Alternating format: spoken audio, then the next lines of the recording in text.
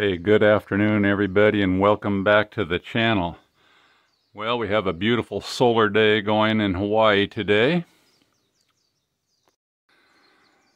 So like many of my videos, we're going to start with the solar array and I'm going to tell you how this lithium iron phosphate system that I've installed over the past year uh, is actually paying for itself and how fast I expect it to have completely paid for itself. So this is where the system starts.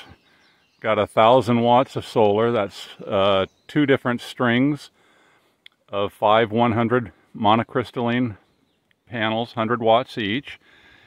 And I, as I could afford over the past year, I kept adding to that system knowing uh, what size I wanted to build.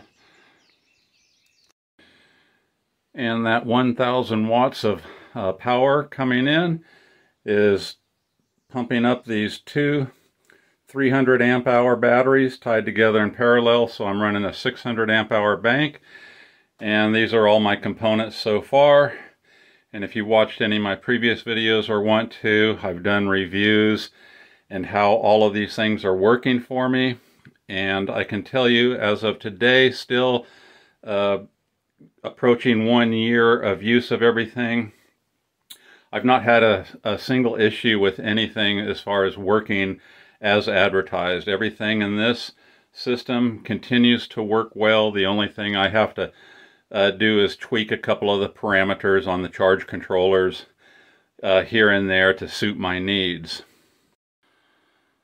So the entire system so far came in at just under $5,000. I'm going to round it up to to $5,000 and say that so far everything that you have seen uh, comes up to $5,000. I fitted into the uh, budget over the past year and went piece by piece and it gave me the uh, opportunity to learn about the system and all of the components I added and also make uh, any adjustments along the way.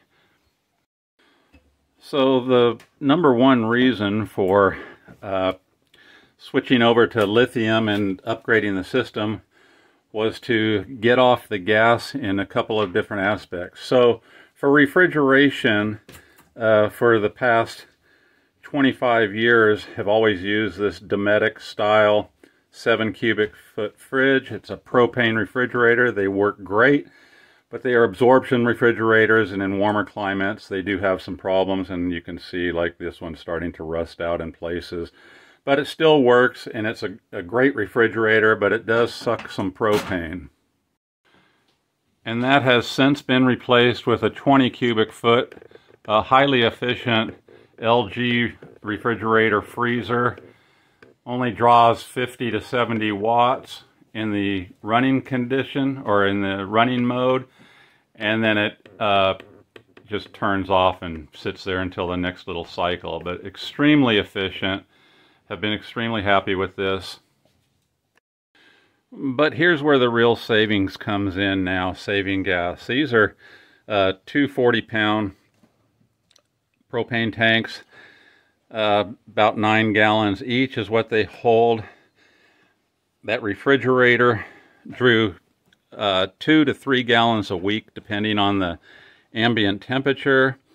And propane out here is not cheap. So when I was running the Dometic refrigerator, one of these tanks would last uh, right at about three weeks. So I only had a six week range between the two. And of course, uh, hot water heat with an on-demand system with no pilot light was is extremely efficient. And then do still use a propane stove and oven. But it was the refrigerator that was uh, hitting this the majority of time hard. Uh, the cooking and bathing and cleaning, hot water, doesn't draw hardly any. For example, this would normally have lasted three weeks. I got fully eight weeks, two months off of one cylinder since switching over. So that in and of itself is saving 500 bucks a year out here at the current rate of propane and it's actually going up. So besides the propane bill being cut uh, more than in half, by quite a bit. Uh, the other huge expenditure is on gasoline. I'm not having to run a generator anymore uh, since I've switched over to lithium, so that's saving uh, quite a bit of money, especially compared to when I was running the lead acid uh, batteries. And the gasoline it took to go and get propane, uh, that's saving me quite a bit of money too. Have very rough roads out here, so I have to throw in a little uh, annual car maintenance into that expenditure. And by going in and out of here much less now because the range is further, uh, not only with the lithium, but the refrigeration, food is keeping longer. Uh, I can conservatively say that the savings on, on just that is a $1,000 a year. So when I add up all of my expenses, uh, the gasoline, the propane, the wear and tear on the car, and the food, without going into uh, right to the penny on each thing, I come up with saving uh, $2,000 a year to uh, keep the household running on this system or, or the way it was before, excuse me. So I'm saving a full $2,000 uh, a year. So at two and a half years, uh, this system has completely paid for itself, which once I did the math and sat down and, and broke it down, I was very, very happy about that. And a lot of you that are thinking about going off grid, uh, the out of pocket initially seems a little steep, uh, but I'm from the old days of solar when it was extremely expensive and things have really uh, gotten much more affordable now and you can even do it like I did piecemeal what you can you know add what you can one panel a month or whatever it is but you're going to start saving money so the other thing I really need to add uh, to this little story here is uh, the convenience of running lithium as opposed to when I was running lead acid for basically the past 25 years. You know, I don't have to get up and monitor these bat these batteries like I did in the old days where I'd have to get up and make sure I was not dropping below 50%, uh, trying to as best as possible to extend the life of those things. I was always successful, but I had to pay a lot closer attention to them. Uh, now, with the lithium and the 100% availability, uh, that's not the issue. So the, the, pure convenience out of this and being able to not have to worry about hitting that 50% mark to preserve your batteries is really a big deal. And the other thing I used to have to do with the lead acid all the time was, you know, you sit down, you watch a movie or whatever it was, and then hit that 50% mark, I would shut the entire system down to not draw it any further. With lithium, I'd never turn anything off. Everything's running 24-7, so that's eliminated that as well.